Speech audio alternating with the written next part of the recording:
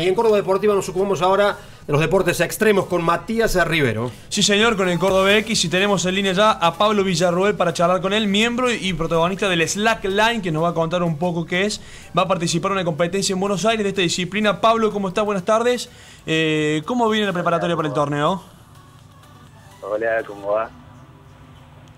Eh, viene bastante bien, estamos eh, muy contentos. Hola, ¿cómo le va a todos? Eh, estamos entrenando, vamos a ir a un torneo que se organiza. Sí, dale. Desde una organización internacional que es LISA, International Slackline Association, Club de Slack y Buenos Aires, en el Estadio Único de La Plata, en el contexto del Festival Emergente. ¿Cuántos deportistas, Pablo, participan en este torneo de los cordobeses? Participan dos por provincia Sí. ¿Y en qué consisten los talleres que vienen dando en este evento?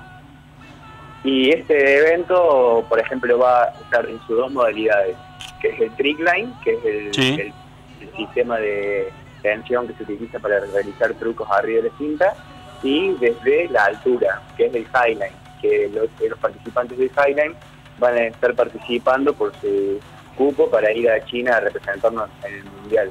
Pablo, para invitar a la gente que se sume a, participar en el Slackline, ¿cómo tiene que hacer la gente? ¿A dónde tiene que llegar? Eh, desde acá en Villa María, nosotros en el interior, eh, estamos entrenando, tenemos una escuadita funcionando en el Centro Cultural de la ciudad, donde damos dos veces a la semana clases y tenemos un número de concurrencia de entre 40 y 50 Estamos hablando de una actividad que antes ni siquiera tenía un espacio físico donde se entrenaba, no había profesores como que nosotros somos la primera generación de, profes y se puede ver un crecimiento asombroso en los niños y en su motivación y en la motivación que les generan a uno, un progreso.